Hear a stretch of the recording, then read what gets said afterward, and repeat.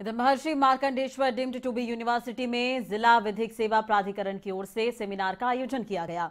एक दिन के सेमिनार में बच्चों और महिलाओं से संबंधित कानून पर चर्चा और जानकारी दी गई। देखिए खास रिपोर्ट।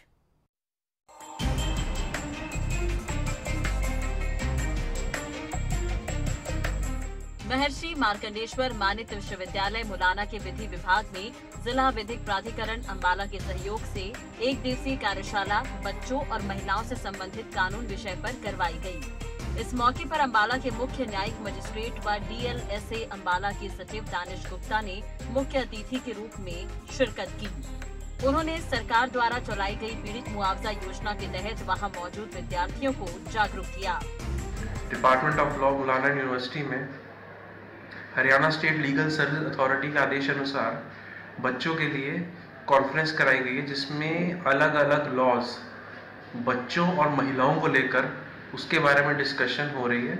इन कॉन्फ्रेंसेस का मुख्य उद्देश्य होता है कि जो लॉ स्टूडेंट्स हैं, उनको स्पेसिफिक टॉपिक्स लेकर उसके बारे में डिटेल्स के बारे में बताया जाए प्रोसीजर आस्पेक्ट्स भी बुक्स के अलावा जो कोर्ट में फॉलो होती है, उसके बारे में डिस्कशन हो ताकि वह एनलाइटेंड उनकी नॉलेज बढ़े। इस मौके पर लॉ डिपार्टमेंट की प्रधान डॉक्टर बिंदु जिंदल ने लिंग भेदभाव पर बात की।